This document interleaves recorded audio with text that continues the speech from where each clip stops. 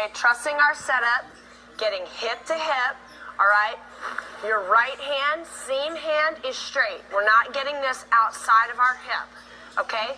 Our right sides are going to cover the seam outside their body. You're getting to a spot that is straight and strong. Okay? So you have your hip and your core behind you. And then you need to stop and drop. Okay? It's the hardest move to make, no doubt about it, but you're moving this way. You need to plant yourself so that you can protect the seam in front of the ball to our bro. Okay? Right sides. I'm going to be tossing Eli inside and out. Okay? Low is sealed. Low seal. Okay? Elliot did that. Try to beat him outside, guys. Beat him there. Yes.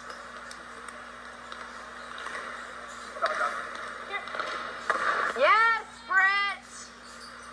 Beat him outside, TT. Beat him there. Beat him. Okay? Good. Yes, but don't get the net when we're doing this. We know we've gotten, oh, crap, crap, we've gotten there late and we're trying to rush and do this. Okay? Not only do we open up way more court here, but if we're hit, we're super weak. Okay? In this position. So you need to get slant planted, okay? So that straight arm, it has the weight of your body behind it, and then drop the seam. If you can't get all the way out there, you gotta trust and just go let let Ali do. Whoa.